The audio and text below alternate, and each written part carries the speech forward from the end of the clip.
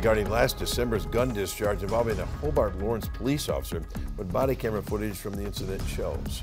And the Scandinavia Planning Commission still fighting a proposed sand mine, what the commission voted to recommend recently. From WBAY TV, your first alert station.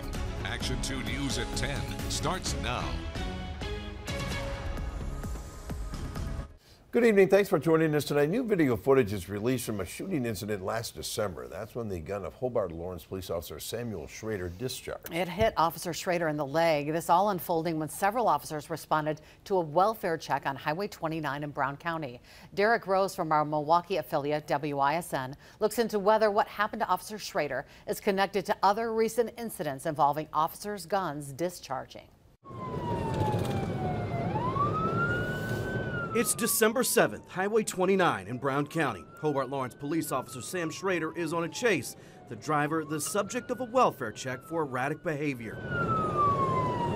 Squad car video shows police box the driver in. Officer Schrader, to his left, tries to get the driver to pull over. Stop! Stop! Eventually, the driver does, but the focus then shifts to Officer Schrader and one sound the sound of a gunshot. Listen again. Schrader's body camera captures it clearly. After the shot, he falls to the ground. Yeah! No! At first, fellow officers are unsure where the shot came from. It was me!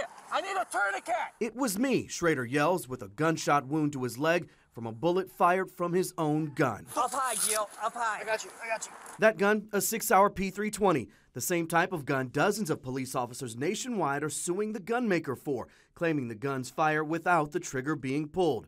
That scenario suspected three times for Milwaukee police. Take this Milwaukee case from 2021. An officer stepping out of a car has his hands full when the gun fires. Again, his hands nowhere near the weapon. But when we slow down the Hobart Lawrence video, you can see one of Officer Schrader's fingers inside the trigger guard just after the shot is heard. In an email, the police chief told me Schrader could not explain why one of his fingers was inside the trigger guard at that moment and denied doing anything outside his training and experience. The chief points out the video does not show Schrader's hand or the gun when the shot is fired. But the chief concedes he is considering the possibility this case is a result of Schrader's handling of the weapon. Now, the chief says he cannot rule out operator error in this investigation. The, uh, the officer Schrader is back to work on light duty now. The chief says an inspection of the gun could, could not find anything internally wrong with the weapon. Despite what has been found out about the case, the department is no longer using that P320. The chief confirming to our affiliate WISN News that before the end of 2022 and not so long after the shooting, the town boards approved letting Hobart Lawrence Police switch to a new service weapon. The chief says right now all officers and supervisor have new guns.